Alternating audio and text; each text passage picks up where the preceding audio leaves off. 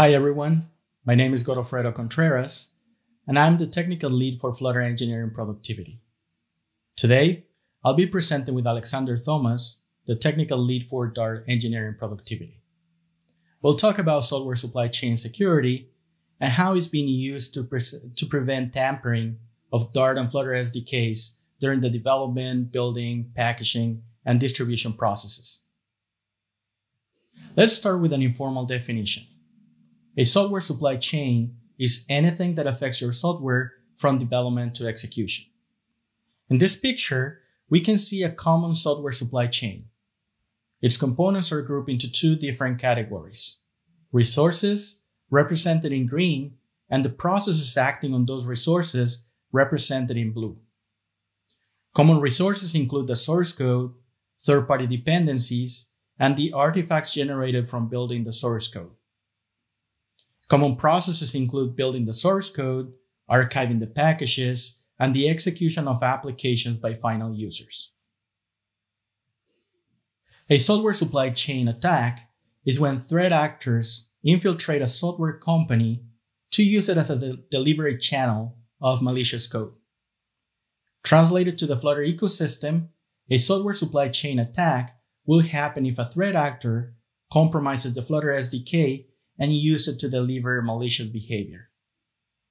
An attack to the Flutter supply chain will target developers using the Flutter SDK and the customers of their applications. And this is why the Dart and Flutter software supply chain security is a top priority for us. And at this point, you may be asking yourself, what could go wrong in the software supply chain? And why we need years of investment to protect it? Well, it turns out that attacks can happen at any link in between resources and processes of the software supply chain. Let's review eight potential threats, one for every resource, process, and their corresponding links. In the link between the developer and source code, a threat actor submits unauthorized code bypassing code review. In the source code resource, a threat actor can compromise the software and the source control management system and submit malicious code impersonating a trusted contributor. In the link between the source code and the build process, the source code can be modified to inject malicious code after a checkout from the source code control management system and before it is used to build the packages. In the build process, build parameters can be used to inject behavior or compromise the cache of the build machines with artifacts to inject bad behavior in subsequent builds. The use of compromised third-party dependencies is also a big threat. In the link from build process to the package resource, when a valid package is modified replacing the original artifact without a means to validate its integrity. In the package manager, a threat actor can get administrative access and modify the packages with malicious code. The last example in this is consumers getting tricked to use compromised packages by using package names that can be easily confused with the official ones. Protecting from many of these threats requires documenting the builds in a verifiable form, including when, where, and how the software was produced. This verifiable format is called provenance. And it is usually a JSON file that describes the machine used to build the packages, the start and end timestamps of the build, and the materials used during the builds. These are portions of the Dart provenance file. And we can see Lucy and Mac 114 as the machine used to build in the where section. We can see the start and end timestamps in the when section and a list of packages and binaries in the how section. And now, when most of the applications are built with reusable components, we really need a common language to describe the security posture of the applications and the dependencies being introduced. This is the reason SLSA, the acronym for Supply Chain Levels for Software, was created as an industry collaboration. It provides a list of best practices and controls to understand third-party dependency security posture, to improve development workflows adding visibility and auditability of the source code generation, and improving the integrity of products, protecting the build workflows, attaching verifiable provenance of the different dependencies, and the processes to produce the artifacts. Using this framework, we are not only improving the security posture of our SDKs, but we are also mapping those improvements to something the community knows and trusts. SLSA is organized in four different levels, providing increasing integrity warranties. Level 1 requires automated builds and the documentation of the build process using provenance. This level does not prevent tampering, but it helps with vulnerability management, and it helps the consumers of the packages to understand the risk they are taking by using it. Level 2 requires a source code version control and a build system that generates authenticated provenance. Level 2 provides tampering protection as long as the build service is trusted. Level 3 requires source and build platforms to guarantee auditability of the source code and the integrity of the provenance. This level provides protection against threats that target the build process. Level 4 requires two-person code review and hermetic reproducible builds. SLSA Level 4 provides great confidence that the software has not been tampered with.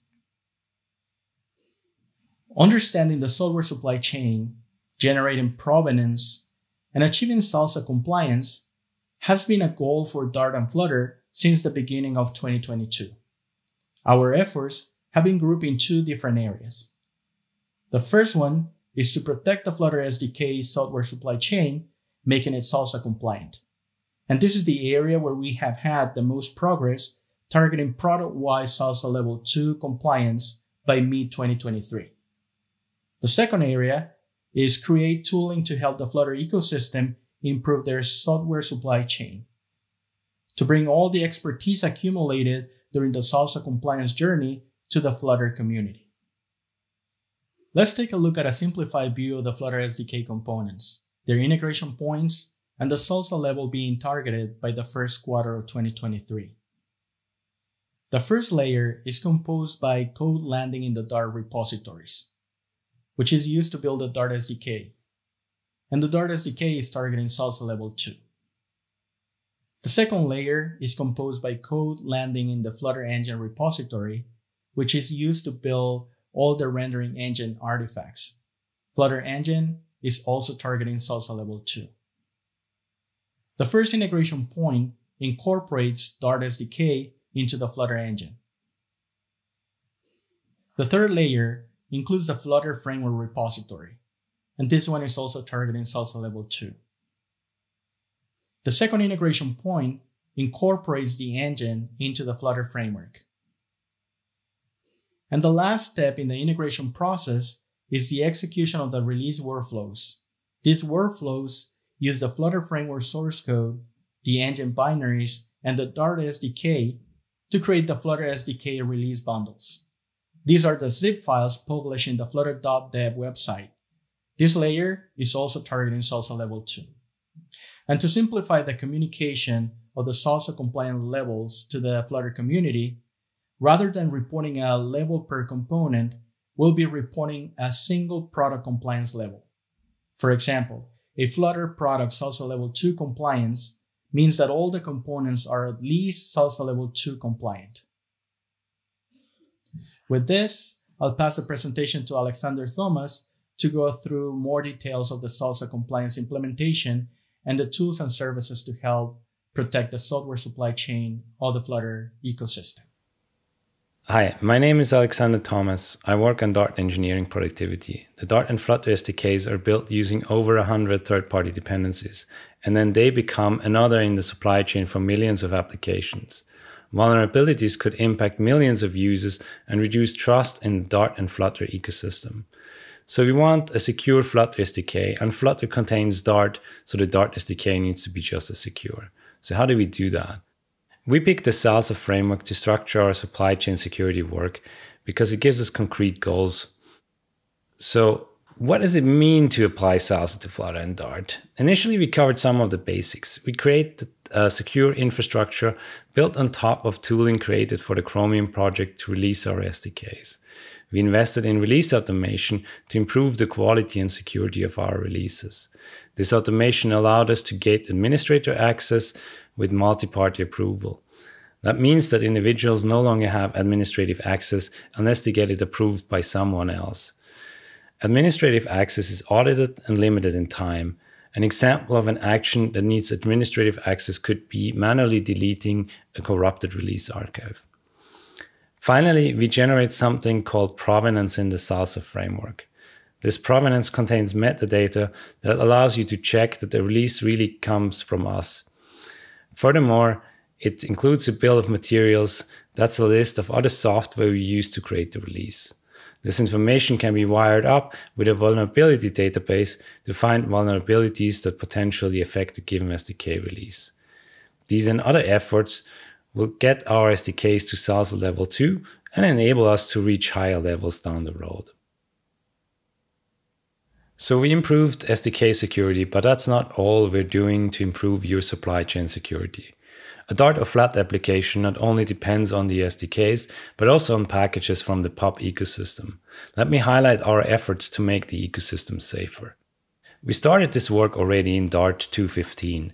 We enabled pub to detect credentials most commonly leaked when publishing packages. In this example, you can see the pub CLI failing a publish command because the package contains a private key. Together with GitHub, we launched Dependabot support for the pub ecosystem. Keeping your dependencies up to date is a pretty good strategy to avoid security vulnerabilities from outdated dependencies. Dependabot also enables a nice dependency graph UI on GitHub. Dependabot can also alert uh, when you are affected by vulnerabilities.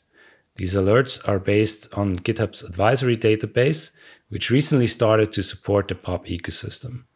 In the future, the pub client will be made aware of these advisories so that you'll get vulnerability alerts also on the command line. In Dart 2.19, pub started to add content hashes to your pubspec.lock files. pub get will check these hashes when passed the dash dash enforce lock file option. This will ensure that content downloaded by pub is the same content that was used to create the lock file. This is particularly relevant if you use a mirror. Because pub stores the hashes in the pubspec.lock file, reviewers can notice unexpected changes. Automated publishing is our latest improvement. Automated publishing makes publishing safer. Fewer people need publish rights than before, and pub Publish always runs in a clean checkout. No more stray files that get published by accident. To enable this, you have to configure a repository for your package in pub.dev. Only GitHub Actions running in that repository will be able to publish the package. Other repositories, such as forks, will not be able to publish your package. Next, you have to configure a tag pattern. This pattern will allow pub to compare the version in the pubspec.yaml to the tagging event that triggered the GitHub action. That means that to publish using GitHub Actions, you need to tag your version. The tag needs to match the pattern configured in, on pub.dev, and the version part of the tag needs to match what is in your pubspec.yaml. This is a minimal example of what this looks like in GitHub Actions. The action is triggered by tag push events and has permissions to request an ID token that pub uses to authorize the publish action. Finally, the action publishes to pub.dev, accepting all prompts with dash dash force. To trigger the action, uh, create the tag or release and push it to the repo. The action runs and publishes a new version of the package automatically. Check out the documentation for more advanced workflows with multi-party approval and other CI providers than GitHub Actions. Thanks for watching.